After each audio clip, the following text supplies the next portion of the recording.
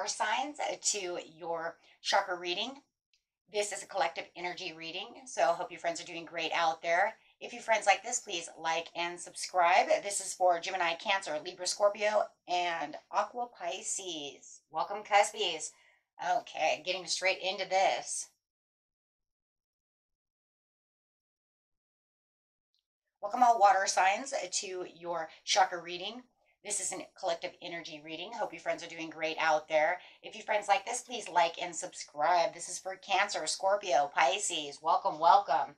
Okay, friends, let's see what's going on with you. First card coming out is the solar plexus over here, talking about what it, your intention is. Talking about this abundance. Ooh. This abundance over here is, I'm talking about gold representing the power. So you see the gold in the chest over here is representing that power that you have within yourself to make this come true, right? The yellow is the solar plexus. So that is the intention, right? Um, this is located just above the belly button, about six inches above the belly button, right? And this is where we get that power, right? We like, whoo, that's it, right? Okay. And this is, the gold is representing the power of the mind to choose, one choice may be wise and the other may be foolish. Choosing well may involve temporary sacrifice in order to gain your desire. Remember that you can always make new choices if it's not going right, right? So sometimes, you know, trying to get to the abundance of what we want takes us on a long journey, and the long journey sometimes is stressful, right? Things are thrown into our way before we get to where we want to be. So the abundance over here is to think about your relationship with money. Are you the wise person or the foolhardy person? Money is naturally attracted towards appreciation and gratitude. Be wary of using your financial situation as an excuse to avoid doing something. Are your thoughts and actions around money empowering or disempowering you? And abundance doesn't always have to be money. It might even abundance is whatever you want, right? It's just the card is really talking about money um, and its own rights right? But just remember, it's whatever abundance you feel is abundance. It could be abundance of love, abundance of money, you know, whatever you choose, right, as your abundance. It could even be abundance of health. Are we making healthy choices to get to the place we need to be healthy? So, for instance, if you know you're trying to lose weight, but you keep eating that donut, is that going to help you get to your abundance? Probably not, right? Or if you're trying to gain weight, right? Is eating that salad or not eating it all going to help you get to where you need to be, right? Everybody's story is a little different depending on where you are. But we have to look at what are the choices that we're making? Are they foolhardy? You know, are you are you putting your left foot out instead of your good right foot out, right? So, abundance through gratitude, releasing regret, being good with money. Also, remember to trust. Trust, wisdom. Trust in the situation that, that you know what, that you are going where you need to be going. I think trusting in a, this situation is a lot for a lot of people. Having the faith, having the trust, trusting that the universe is putting you where you need to be. A, a lot of it could be impatience. I see the man over here. He's kind of like worried about the situation. That's not trust. That's worried, right? That's worrying about the situation. Worry brings no trust, brings no faith, right? It brings us nothing but sorrow, heartache, confusion, anxiety, sleepless nights. So we don't want to do that. We also want to trust on our journey, especially when you know that you're on the right path, my friends. When you know you're on the right path, you really have to give that to the universe and let it flow, let it go right? You're saying, you know what, I do do what I'm supposed to be doing. I don't do this and I don't do that. It's, it might be all about the trust in the situation, right? Flexibility, being more flexible within the situation. There it is, that trust, letting it flow, being flexible on what you're doing, flexible in the mind. Are you being flexible? Are you taking the steps and the leaps forward that are necessary? Are you holding back in areas where you shouldn't be holding back? Be flexible to yourself. Allow yourself to have the ending for the new beginning. It's a nine. Take that, how that resonates, right? And that's bringing in that beautiful desire of the sacral chakra saying this is where I want to have the desire. This is the desire that I have for the intention of the solar plexus, allowing the two to come together. I'm, I'm down here on the mat and I'm also up here on the wall. You can see the wall up here. They're right next to each other. Having the desire brings in the de- intention. Do you have the flexibility, the desire, right, to really bring in what it is you need? And of course, the sacral chakra is located six inches below the belly button. So those two, yeah, definitely going to connect, right? So for this overall success, that's what it's saying. Do you have the flexibility in letting go of things that no longer serve you for the ending to have the abundance that you so need, so desire, so want, putting in all your intentions, all your hard work, everything that you do to have the success? I know that there is no greater goal than to love, bringing in the now, bringing in the heart chakra, which is definitely six inches above the solar plexus, getting that rolling. Do I love myself enough to trust, have faith, have compassion towards myself to allow these things, have flexibility where flexibility is needed, grounding myself where I need to be grounded? Do I have the thoughts, the needs, the overall wants? Is it good for me? You're asking yourself that too, right? Is it good for me? People don't usually ask for things that are not good for them, though, right? Usually, when we really have a good intention, we know it's good for us, right? Being the panda, create a sacred place and space for yourself in your home and other place of work this is where you're going to really take on kind of a making space. Okay, so we could say making space for the new intention. Meaning, like if you're already in a relationship and you want to really want a relationship with someone else, is there space for that other person? You have to release the other person before you can make the space for the new person, right? So, making space, making room within your heart. This is all about the heart chakra, really grounding yourself.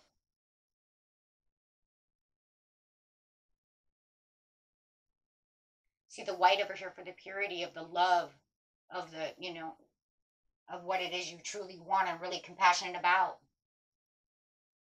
It's also saying that, you know what, it might be time for introspective.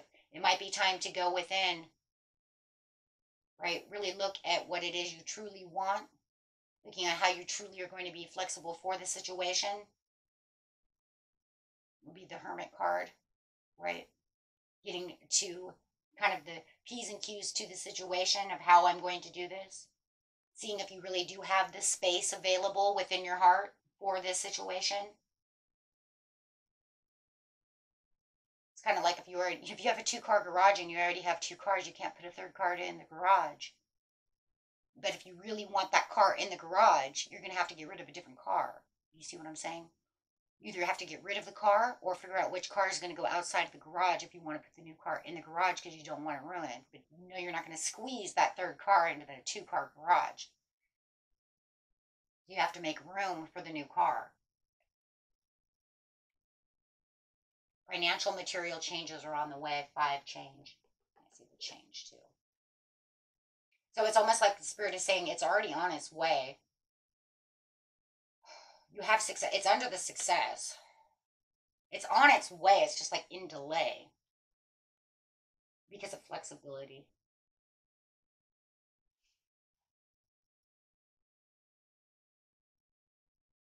So you do have the financial material changes on the way. The chariot is on its way. You just need to create the space of how you're going to do it. How is it going to come in? Because it's like, it's kind of like, guys, you know how I see this is like, here comes the chariot, and the chariot is like hovering over your head. It wants to give you this abundance.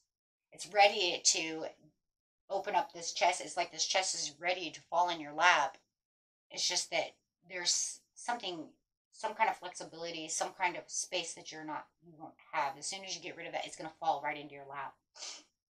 It's just hovering. I literally see it in my mind. It's it's right there. It's ready to drop. You just have to change something, a way of thinking, um, space, room.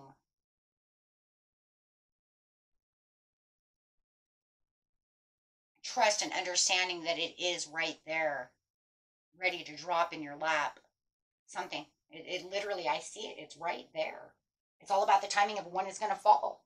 When is it going to fall into my lap?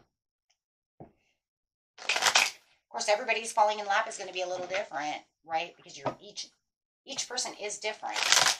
One's going to say, I'm going to work on it right now. And then one will say, okay, let me think about this. It's all about how you delay it, how you think.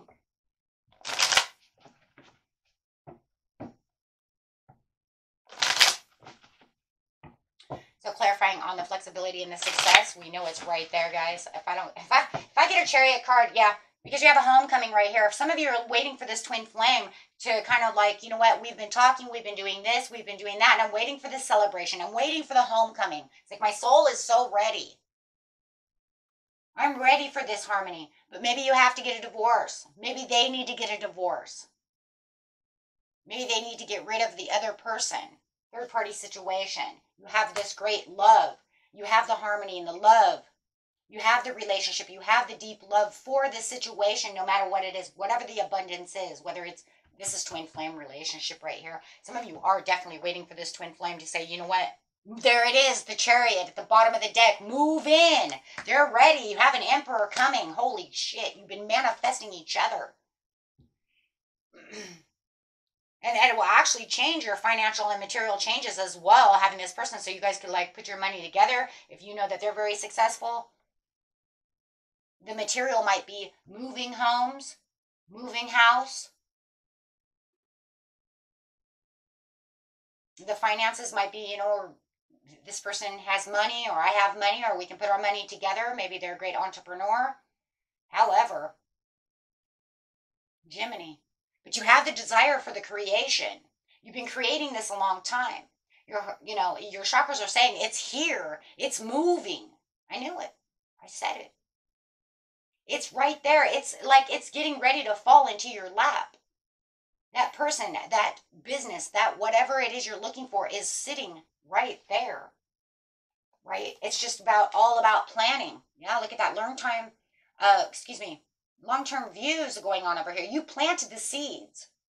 There was hard work to get the sustainable results from this situation. You're just waiting. The investments that you put in are there. You just have to be flexible. There's something that is there that is just, you know, it's just, it's like it's blooming. You're just waiting for it to ripen, to fall off the bush. Look, they're all bloomed. The success is bloomed. You're just waiting them to ripen and fall off. Fall off the bush already. Tell me it's ripe. Tell me it's ready to eat, right? You don't want to eat a, you know, a hard apple the apple is red, but it's not it's not ready to eat, guys. It's you know, it's still hard. Reminds me of plums more than anything. Only for the fact that everybody knows that plums are always like, you know, always look delicious, but then you always have to wait for the perfect timing. And it's almost like, you know what? And they don't really change a whole lot of colors until they really get super duper purple, right? But they always look ready to eat. But if you pull it off, it's hard, right? So you don't you see what I'm saying? It's like it's it's still hard. It's it's almost ready to eat. That's a weird analogy, but that's what I seen. So however, apples, plums, you know, fruits of life. the fruits of life because the fruits of and it really is the fruits of life though, guys, because you've been putting in the fruits of labor, right, ready for this stuff to happen. Your intuition is going to tell you exactly what you need to know. I think a lot of you already know. You're already sitting in the knowing with your crown chakra. You're saying, My third eye's already told me that, you know, I'm clear about this situation. I think a lot of you know this is going to happen. You're just waiting for that to fall into your lap. And you know how I am about falling in your lap, but this isn't one of those things that you didn't put hard work into. You know, I tell you guys all the time, it ain't going to just fall through the, the roof into your lap, you know? Eh, but that's not what this case is. This case says, I've dug trenches. I've gone through the mountains. I've climbed this. I've done that. I've put in the investment and the hard work to get to where I am. So now you're just ready for that chest to fall into your lap, right? Waiting for the blessing. Because you've done the hard work. Absolutely. But see, once again, it says trust in yourself. Trust. And I kept hearing that true. There has to be a lot of trust, loyalty, faithfulness, trust to yourself and to what you want. This could be a past life person coming through, some kind of deep soulmate, like I said, twin flame coming through from the past. But however it is, this is something that's going to make you happy.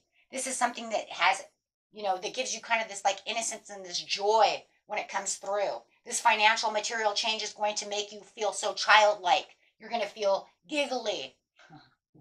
Yeah, how about that? I haven't felt giggly in a while. I feel giddy and giggly like a schoolgirl or like a schoolboy or a teenager. You see what I'm saying? Like I haven't had this kind of happiness in a while. This is what I've been waiting for. Right?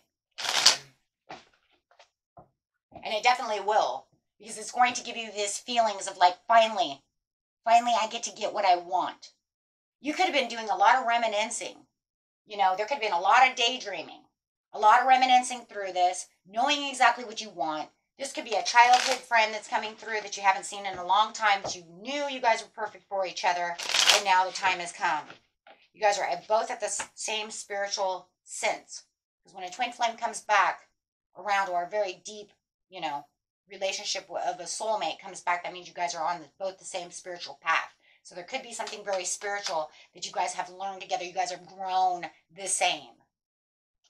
Absolutely. But right now, it just says right now, you know, I'm waiting for this Ace of Wands. I'm holding tight to the Ace of Wands. It's the only thing I have right now. But I still have these Eight of Wands behind me that are keeping me, right, and testing my faith,